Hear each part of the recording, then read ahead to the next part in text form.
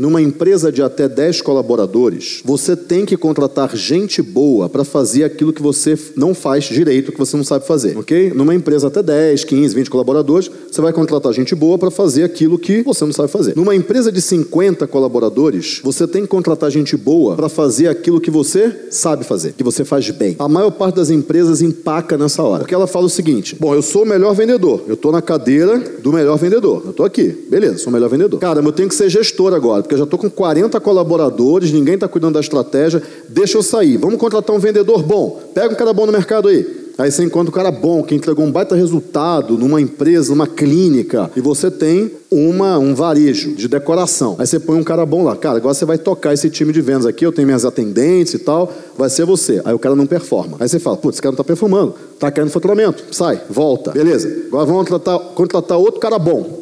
Achamos um cara bom, esse cara vai ser a salvação da lavoura. Eu tenho uma, eu tenho uma, uma, uma maneira de viver a vida que se chama expectativa zero. Quando alguém chega para mim, esse cara vai resolver. Aí eu falo, é legal, tomara, né? tomara, não me abalo. Pô, esse cara é péssimo. É, vamos, vamos ver, será? Vamos ver, cadê os indicadores dele? Eu não me abalo. Eu não desço tanto, mas eu também não subo tanto. Eu fico ali. Eu fico num range seguro pra ser dono. Porque se você chega na empresa, um dia você tá triste de chorar, de bater na mesa. No outro dia você tá com raiva de sair esbufeteando todo mundo. No outro dia você tá eufórico porque você bateu a meta, você dá uma festa de arromba, convida todos os seus amigos que nunca fizeram nada pra você. Você tá oscilando demais. Essa oscilação deixa a empresa instável. Você tem que buscar a estabilidade. A palavra é esta na Você pode fazer isso na sua vida pessoal. O ideal é que você também não seja tão instável na sua vida pessoal. Lógico, na vida pessoal você tem mais níveis emocionais. Na empresa, o nível emocional tem que ser muito curto. Putz, a gente não bateu a meta, caramba, esse mês vai ter prejuízo. O que, que a gente vai fazer no mês que vem para não ter prejuízo? Tem prejuízo esse mês? O que, que a gente fez? Vamos analisar os números aqui. Esse é o papel de dono. É o papel impassível. É isso que vai fazer o teu time confiar em você. E lógico que você tem que reconhecer, você tem que celebrar, lógico, tem que celebrar. Geralmente você pode até oscilar um pouco mais para cima, mas para baixo você não oscila tanto não. Mas você oscila para cima de maneira planejada. Vamos celebrar. Por quê? Por causa disso aqui. Vamos fazer isso aqui para celebrar. Legal, bacana. Reconhece e celebra.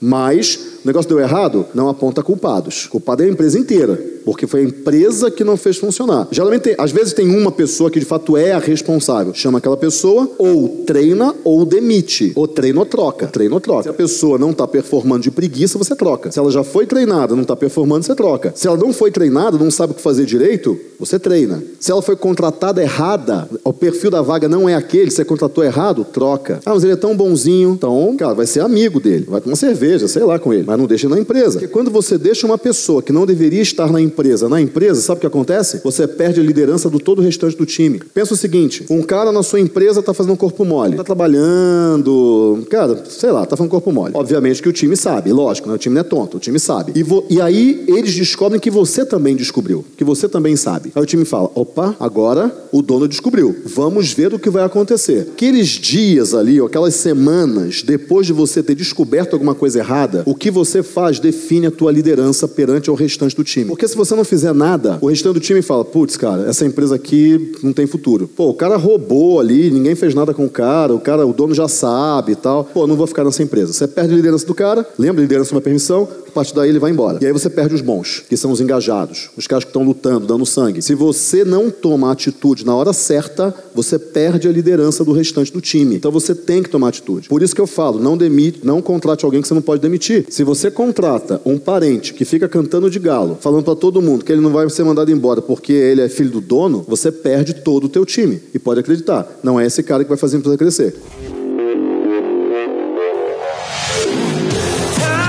A imersão para mim representa um marco, uma divisão de mentalidade, mas principalmente de posicionamento. Eu quero agradecer ao Conrado por tudo que ele está fazendo em nossas vidas também. Eu recomendo muito, muito, muito. Vale muito a pena, porque vai fazer uma mudança muito grande na nossa vida na vida de vocês também.